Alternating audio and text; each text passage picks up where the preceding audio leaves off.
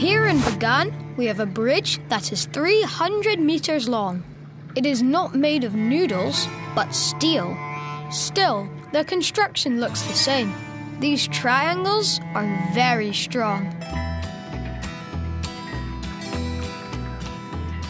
Newspapers are very weak.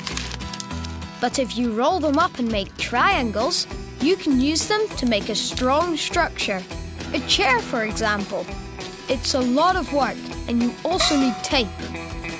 Tightly roll the newspaper and secure it with tape. Bind three together. This is a chair leg. Now you can make the chair.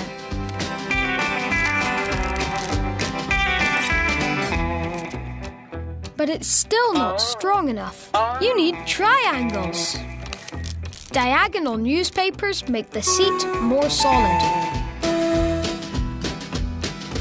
Do the same on the other side.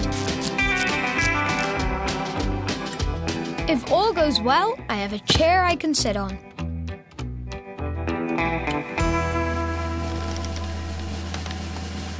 Yes, handy, eh?